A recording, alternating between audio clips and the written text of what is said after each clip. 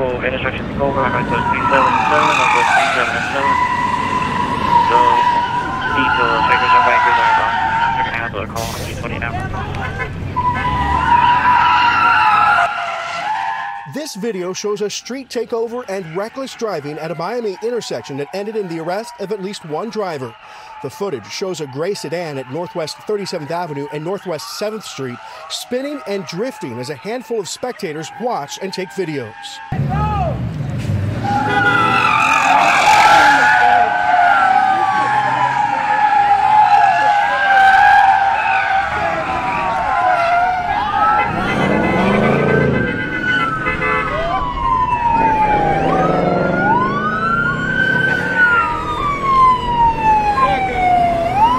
Valentino Santos allegedly behind the wheel of a stolen orange Chevrolet Camaro.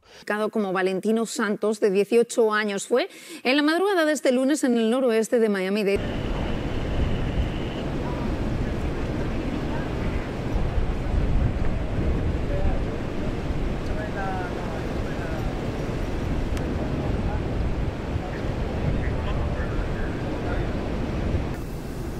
Hey,